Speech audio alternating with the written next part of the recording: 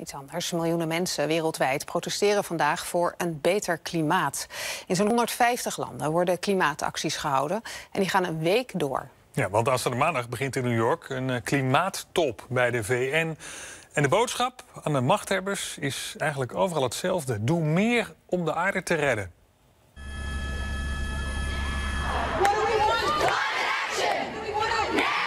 We're on the front lines of climate change. You know, it's already happening.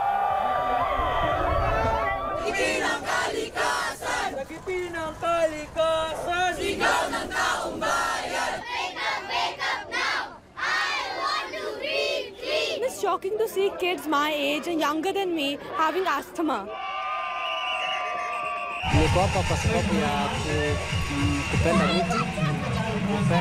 Wanyama,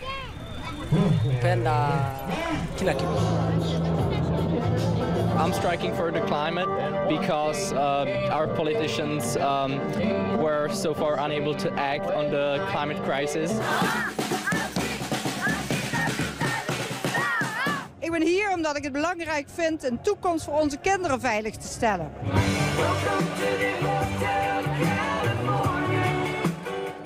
Ja, juist vandaag maakt de regering van Duitsland zijn eh, klimaatplannen voor de komende tien jaar bekend.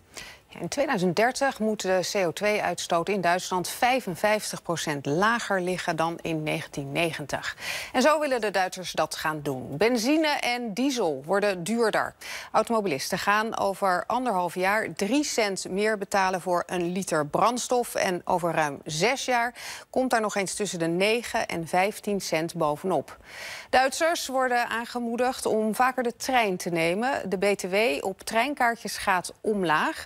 En vliegen wordt juist minder aantrekkelijk gemaakt. De prijzen van vliegtickets gaan omhoog.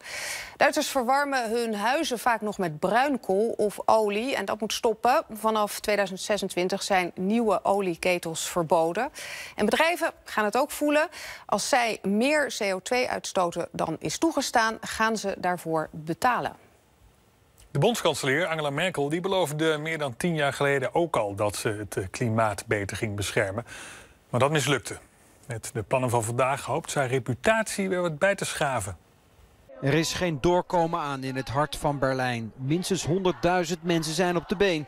Het gezicht van het protest staat op onweer. Nou, de boze boodschap is binnengekomen. Wenn mich etwas beeindruckt, das sage ich jetzt mal als Naturwissenschaftlerin, dann ist das, wenn Greta Thunberg sagt, Unite behind the science. Es ist nicht so, dass wir hier irgendetwas Ideologisches machen, sondern wir machen etwas, wofür es so massive Evidenzen gibt, dass wir dagegen handeln müssen. Maar als het nou werkelijk allemaal zo evident is, waarom dan toch zo lang getreuzeld? De geloofwaardigheid van Merkel staat op het spel. Merkel staat niet voor niets bekend als de kolen, auto of dieselkanselier.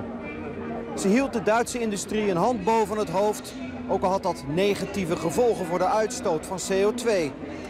Ze wil er nu alsnog een groen tintje aangeven.